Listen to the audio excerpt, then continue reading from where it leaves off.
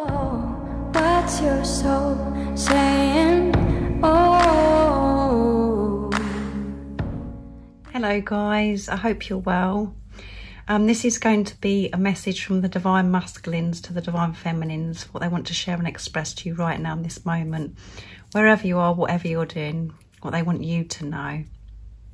So I'm using two decks tonight. So I'm going to be using uh, messages from your divine masculine's true self and message from your other self that I've both I've created both of these decks. So I'm very interested to see what's going to come out for the divine masculines today, tonight, whatever time it is, wherever you are. So what is the message that divine masculines want to express and get off their chest right now in this moment? So I'm going to start with the divine masculine true self. Let's see. I'm breaking free from what no longer serves me. And let's do this deck now. Self. When I look into your eyes, it sets me on fire. so your divine masculine wants you to know that however it seems to you right now in the 3D, they are breaking free from what no longer serves them. Um, and that can be so many things um, for everybody. It can be relationships, friendships. But I think the most important thing that they are breaking free from is the chatter from their he- in their heads, you know, that's going round and round. Um, the programming, the conditioning, their belief systems, you know, so many, they have, you know, removed so many layers on this journey in the time of this preparation, if you are experiencing not being with a physical person, they have do, done so much work the same as you. And that is how you know um, if your divine masculine has been doing the work because you know you have and you're one soul.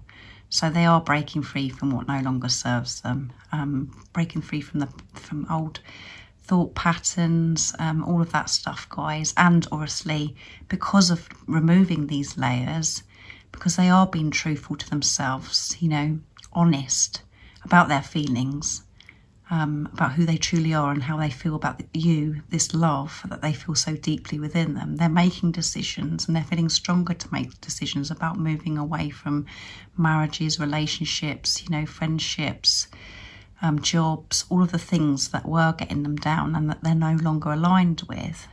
And they want you to know that when they look into your eyes, it sets them on fire. Um, it really does make them feel so alive. They think your eyes are so beautiful.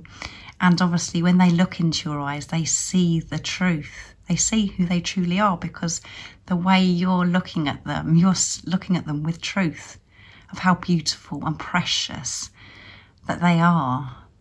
You know, and they can feel that and it sets them on fire it makes them feel alive and it makes them feel as if they can do anything and they just love your eyes as well. So um, this is a beautiful message from the divine masculines this evening or the daytime wherever you are in the world. Um, so know that they are breaking free from what no longer serves them because you're breaking free and staying in your truth. You're removing things in your life that you're no longer aligned with as well and you know that they feel this way when they look into your eyes because that's how you feel when you look into your divine masculine's eyes. So I really do hope that you're well, guys, and you're coping in whatever you've got going on right now. I am thinking of you and um, I'm sending so much love, my support, my strength and light, and I love you all so very much. See ya. Oh, what's your soul saying?